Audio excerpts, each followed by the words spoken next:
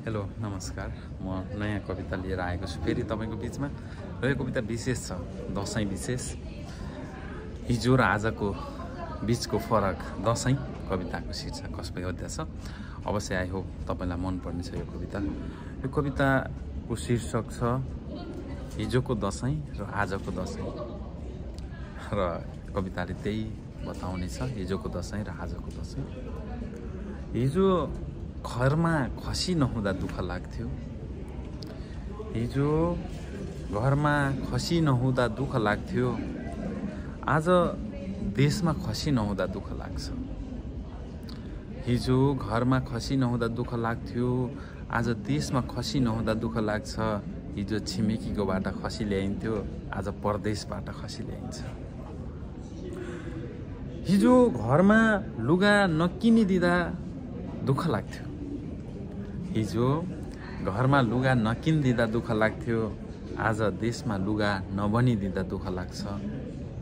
हिजो घरमा लुगा नकिनिदिँदा दुःख लाग्थ्यो। आज देशमा लुगा नबनिदिँदा दुःख लाग्छ।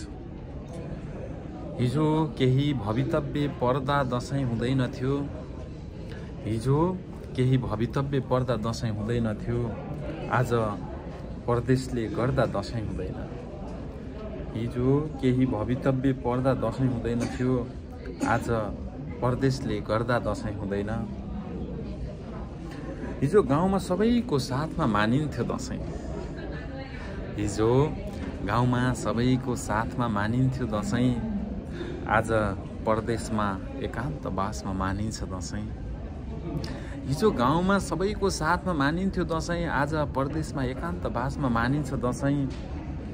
हिजो बा आमाले आशीर्वाद दिएर दसैँ मानिन्थ्यो। हिजो बा आमाले आशीर्वाद दिएर दसैँ मानिन्थ्यो। आज भिडियो कलमा अनुहार हेरेर दसैँ मानिन्छ।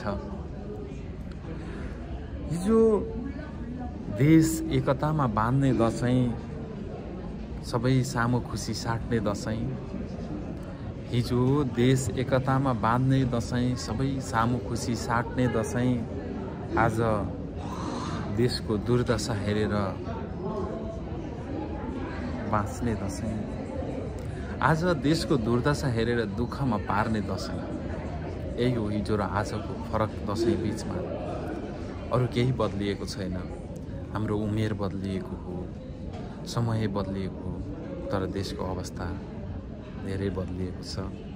दसैँ गाउँघरमा मान्न पाउनेहरू भाग्यमानीलाई विजया दशमीको शुभकामना र सम्पूर्ण नेपालीलाई यो विजया दशमीले एकतामा बाँधोस्। म यजबी खत्री तपाईँहरूलाई हिजोको दसैँ र आजको दसैँ भनेर यो छोटो कविता ल्याएको छु। अवश्य पनि कविता मन पऱ्यो भने यसलाई लाइक गरेर सेयर गर्नुहोला। हिजोको दसैँ र आजको दसैँ। धन्यवाद।